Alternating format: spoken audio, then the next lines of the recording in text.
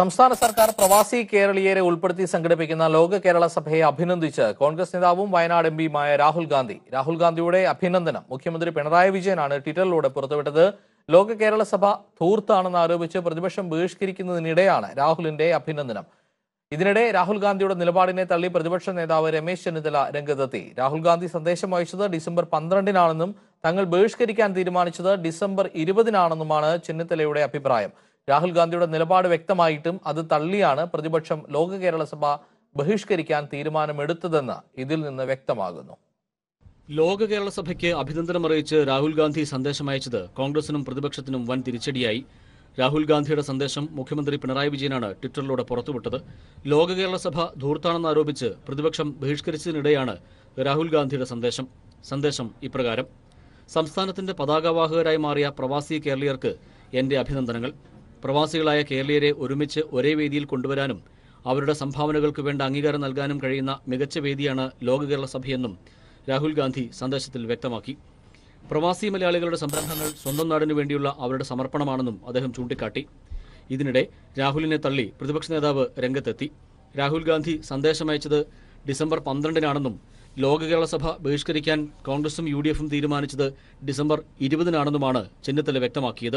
ലോക കേരള സഭ ബഹിഷ്കരിക്കാനുള്ള തീരുമാനം അന്തിമ തീരുമാനം ഞങ്ങൾ എടുക്കുന്നത് ഇരുപതാം തീയതി. രാഹുൽജി കത്തയക്കുന്നത് പതിനൊന്ന് പന്ത്രണ്ട് ആ തീയതികളിലാണ്. രാഹുൽജിയുടെ കത്ത് പിണറായി വിജയൻ ഒരു ആയുധമാക്കണ്ട.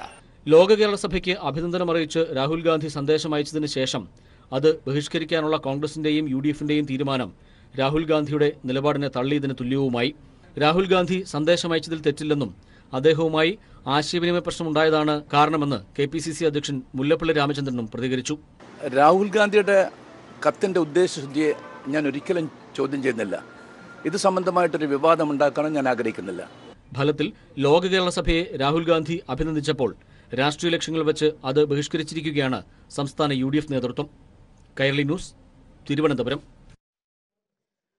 വിദേശ നാണ്യശേഖരം കേന്ദ്രത്തിനും എന്നാൽ അതുണ്ടാക്കുന്ന പ്രവാസികളുടെ ക്ഷേമത്തിന്റെ ചുമതല സംസ്ഥാനത്തിനും എന്ന നില നിർഭാഗ്യകരമെന്ന് മുഖ്യമന്ത്രി പറഞ്ഞു. രണ്ടാം ലോക കേരള സഭയുടെ സമീപന രേഖ സമർപ്പിച്ച് സംസാരിക്കുകയായിരുന്നു മുഖ്യമന്ത്രി. ലോക കേരള സഭയുടെ നടപടിക്രമങ്ങൾ പുരോഗമിക്കുകയാണ്.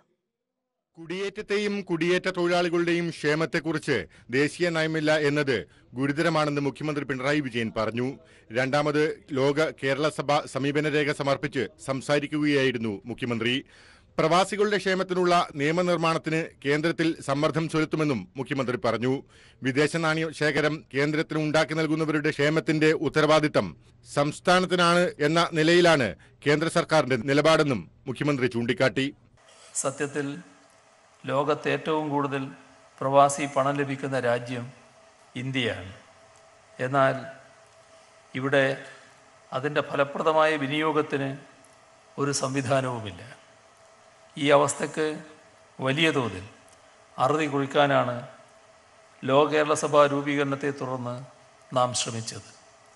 പ്രവാസി നിക്ഷേപ പദ്ധതി പ്രവാസി നിക്ഷേപത്തിനായുള്ള കമ്പനി പ്രവാസി നിർമ്മാണ കമ്പനി പ്രവാസി ചിട്ടി തുടങ്ങിയവയൊക്കെ പുതിയ സാധ്യതകൾ തുറക്കുകയാണ്. കേരളം പ്രവാസി ക്ഷേമത്തിനായി ചെയ്യാവുന്നതൊക്കെ ചെയ്യുന്നുണ്ട്. നൈപുണ്യ വികസനത്തിന് പോലും കേന്ദ്ര പദ്ധതികളില്ല. എന്നാൽ സംസ്ഥാനം നൈപുണ്യ വികസനത്തിനായി പദ്ധതികൾ നടപ്പിലാക്കിയിട്ടുണ്ടെന്നും മുഖ്യമന്ത്രി പറഞ്ഞു. പ്രവാസി ക്ഷേമത്തിനായി ഭാവനാപൂർണമായ പദ്ധതികൾ കേരളം ഒരുക്കും. കേന്ദ്ര സംസ്ഥാന ഓഹരിയോടെ കൺസോഷ്യം ആലോചിക്കാവുന്നതേയുള്ളൂ. വിദേശ നാണ്യം നേടിത്തരുന്നവരുടെ ക്ഷേമത്തിനായി ദേശീയ കുടിയേറ്റ നയം കേന്ദ്രം രൂപീകരിക്കണമെന്നും മുഖ്യമന്ത്രി ആവശ്യപ്പെട്ടു. പൗരാവകാശമാണ് ജനാധിപത്യത്തിന്റെ ശക്തിയെന്ന് നേരത്തെ സംസാരിച്ച സ്പീക്കർ അഭിപ്രായപ്പെട്ടു.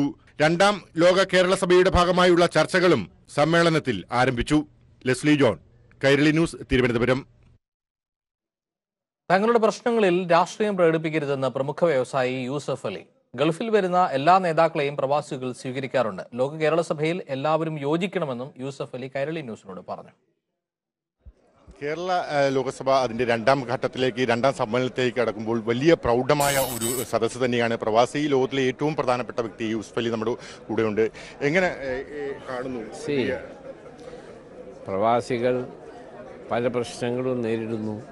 അത് ഓപ്പണായിട്ട് ചർച്ച ചെയ്യാൻ ഒരു വേദി വേണം.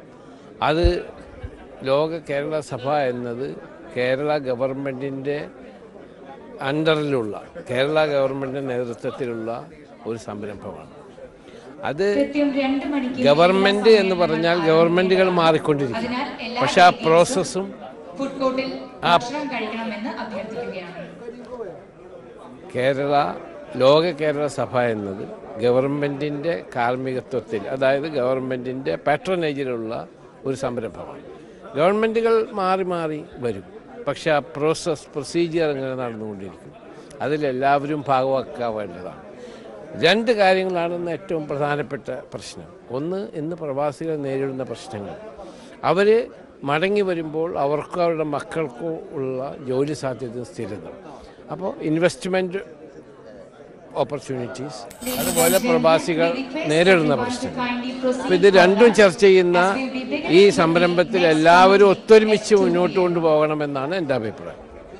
മാത്രമല്ല ഈ തുടർച്ചയായ ഗവൺമെന്റ് എന്ന് പറയുമ്പോൾ ഇപ്പോൾ പ്രതിപക്ഷം ഒന്ന് മാറി നിൽക്കുന്ന ഒരു സാഹചര്യം അത്തരം സാഹചര്യങ്ങൾ ഒഴിവാക്കേണ്ടതല്ലേ? എല്ലാവരും യോജിക്കണം എന്നാണ് ഞാൻ പറയുന്നത്. എല്ലാവരും യോജിക്കണം. കാരണം പ്രവാസികളുടെ പ്രശ്നം വരുമ്പോൾ എല്ലാവരും യോജിക്കണം. ഞങ്ങൾ അവിടെ വരുമ്പോൾ ഇവിടെ നിന്ന് ഞങ്ങളുടെ നേതാക്കൾ അവിടെ വരുമ്പോൾ ഞങ്ങളെല്ലാവരെയും സ്വീകരിക്കുകയും എല്ലാവർക്കും വേണ്ടി ഞങ്ങൾ സംസാരിക്കുകയും അവരെ കൊണ്ടുപോയി ഞങ്ങൾ സ്വീകരിക്കുക സ്വീകരിക്കും അതിലൊന്നും അവിടെ ഒരു രാഷ്ട്രീയം ഞങ്ങൾ അവിടെ പ്രകടിപ്പിക്കാറില്ല. അതുമാതിരി ഞങ്ങളോട് ഇവിടെ വരുമ്പോൾ പ്രകടിപ്പിക്കരുത് എന്നാണ് എന്റെ അഭിപ്രായം.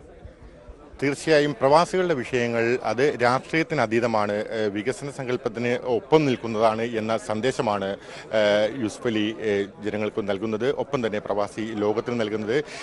ലോക കേരള സഭയുടെ സുഗമമായ നടത്തിപ്പ് പ്രവാസികളുടെ വികസനത്തിന് മാത്രമല്ല സംസ്ഥാനത്തിന്റെ വികസനത്തിന് കൂടിയും ക്ഷേമത്തിനു കൂടി വേണ്ടിയുള്ളതാണ് എന്ന അർത്ഥം വിളമ്പുന്ന അല്ലെങ്കിൽ തുളുമ്പുന്ന വാക്കുകൾ തന്നെയാണ് യൂസുഫ് അലിയിൽ നിന്നുണ്ടായത്.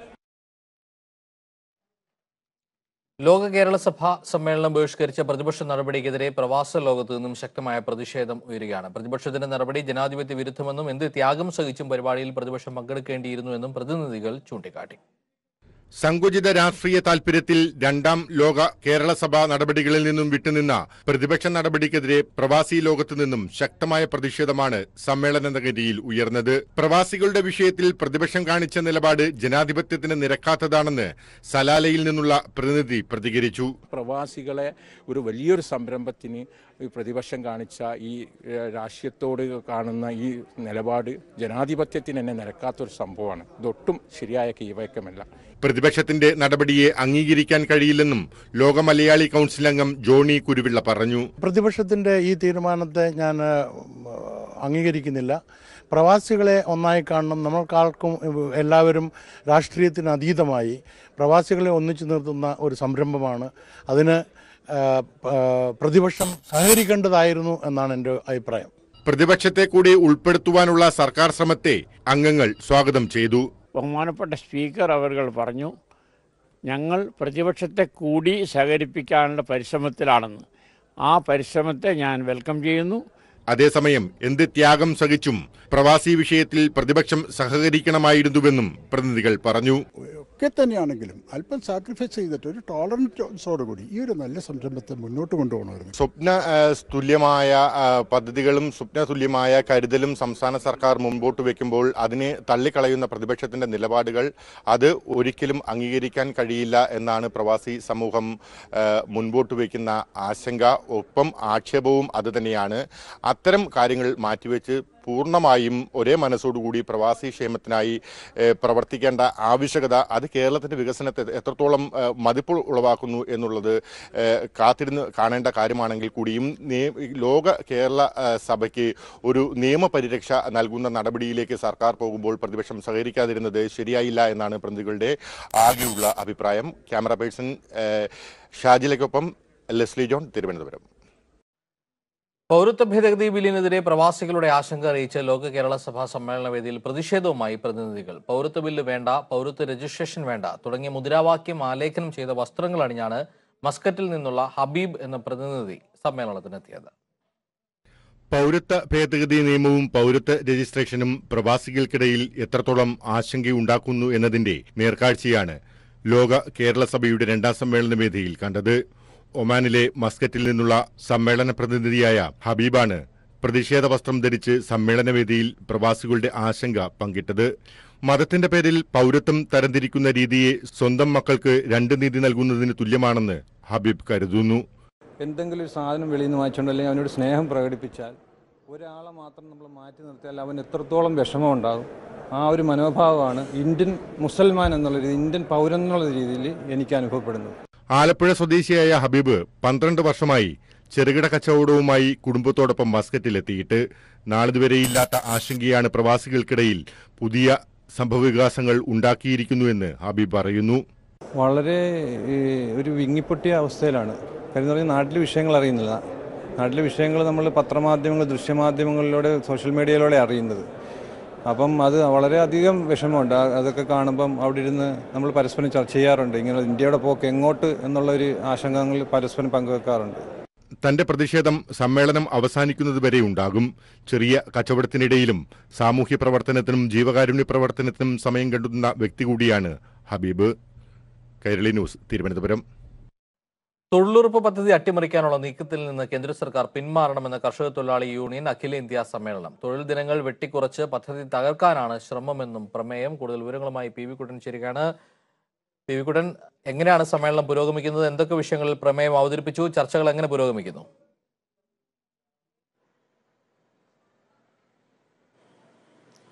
ആ, ജോർജറ്റ് ചർച്ചകൾ ഇപ്പോഴും പുരോഗമിച്ചുകൊണ്ടിരിക്കുകയാണ്. ഇന്ന് രാത്രി വരെ ചർച്ചകൾ നീളും. വിവിധ സംസ്ഥാനങ്ങളിൽ നിന്നായി ഇപ്പോൾ മുപ്പത്തിയേഴ് പ്രതിനിധികളാണ് ചർച്ചയിൽ പങ്കെടുത്തിരിക്കുന്നത്. ഇന്നലെ ജനറൽ സെക്രട്ടറിയായി വിജയരാഘവൻ അവതരിപ്പിച്ച പ്രവർത്തന റിപ്പോർട്ടിന്മേലാണ് ചർച്ച പുരോഗമിക്കുന്നത്. നാളെ രാവിലെ ജനറൽ സെക്രട്ടറി ചർച്ചകൾക്ക് മറുപടി നൽകും.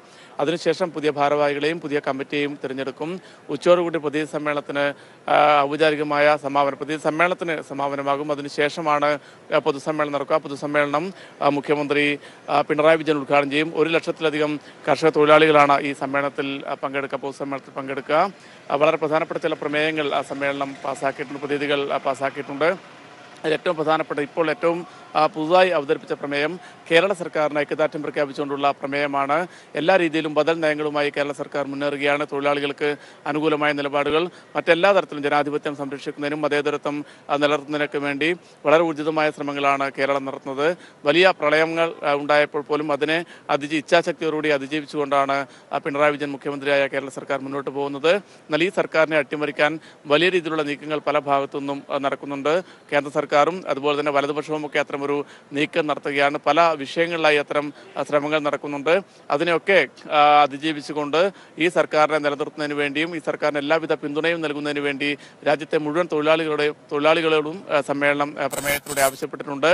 അതുപോലെ തന്നെ തൊഴിലുറപ്പ് പദ്ധതി അട്ടിമറിക്കുന്നതിനുള്ള നീക്കത്തിൽ നിന്നും കേന്ദ്ര സർക്കാർ പിന്മാറണമെന്നും സമ്മേളനം ആവശ്യപ്പെട്ടു. തൊഴിൽ ദിനങ്ങൾ വെട്ടിക്കുറച്ചുകൊണ്ട് ഈ വലിയ പദ്ധതിയെ ഇല്ലാതാക്കാൻ വേണ്ടിയാണ് കേന്ദ്ര സർക്കാർ ശ്രമിക്കുന്നത്. ഈ നീക്കത്തിൽ നിന്നും സർക്കാർ പിന്മാറണമെന്നും സമ്മേളനം ആവശ്യപ്പെട്ടിട്ടുണ്ട്. ജോജറ്റ് രാജിവെച്ച് പോയില്ലെങ്കിൽ ഗവർണർ തെരുവിൽ ഇറങ്ങില്ല എന്ന് കെ മുരളീധരൻ. ഗവർണറുടെ മാന്യതയ്ക്ക് അദ്ദേഹം അർഹനല്ല എന്ന് വലിയ താമസമില്ലാതെ തെളിയിക്കേണ്ടി വരുമെന്നും കെ മുരളീധരൻ കോഴിക്കോട് പറഞ്ഞു. കൂടുതൽ വിവരങ്ങളുമായി ലതീഷ് ചേരുകയാണ്.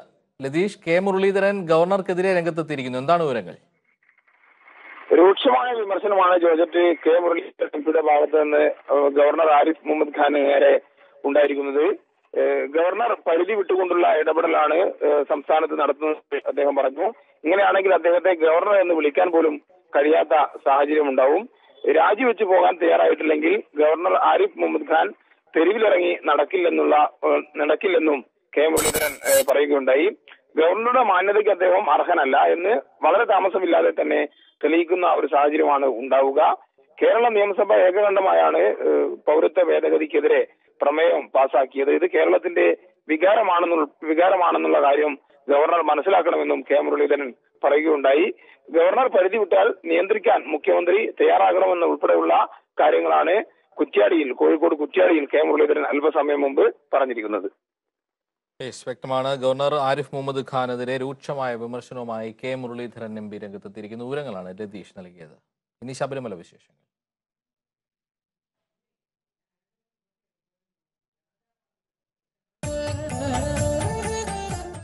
ശബരിമല വിശേഷങ്ങൾ financial partner K Safi.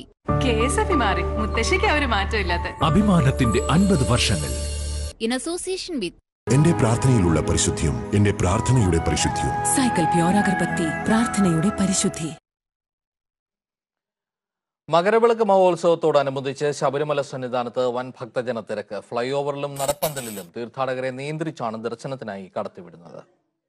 Makaravilakku മഹോത്സവത്തിന് നട തുറന്നപ്പോൾ അനുഭവപ്പെട്ട ഭക്തജന തിരക്ക് ഇപ്പോഴും സന്നിധാനത്ത് തുടരുകയാണ്. ശരാശരി എഴുപത്തയ്യായിരത്തിന് മുകളിൽ തീർത്ഥാടകരാണ് പ്രതിദിനം ശബരിമലയിൽ ദർശനം നടത്തുന്നത്. ഇന്നലെ തീർത്ഥാടകരുടെ നിര മരക്കൂട്ടം വരെ നീണ്ടു. തിരക്ക് ഇനിയും കൂടുകയാണെങ്കിൽ കൂടുതൽ നിയന്ത്രണങ്ങളിലേക്ക് പോലീസ് നീങ്ങും. മണ്ഡലകാലത്തിന് സമാനമായ വരുമാന വർധനവ് മകരവിളക്ക് കാലത്തും ദേവസ്വം ബോർഡ് പ്രതീക്ഷിക്കുന്നുണ്ട്.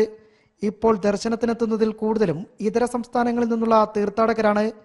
ആയിരത്തി ഇരുന്നൂറ് പോലീസുകാരെയാണ് ശബരിമലയിൽ നിലവിൽ സുരക്ഷയ്ക്കായി വിന്യസിച്ചിരിക്കുന്നത്. കൈരളി ന്യൂസ് സന്നിധാനം. പാചകവാതക വില വർധനവിൽ വ്യാപക പ്രതിഷേധം. അഞ്ചു മാസത്തിനിടെ ഗ്യാസ് വിലയിൽ നൂറ്റി നാൽപ്പത് രൂപയുടെ വർധനമാണ് ഉണ്ടായത്. കേരളത്തിലെ വീട്ടമ്മമാരുടെ പ്രതികരണങ്ങൾ കാണാം.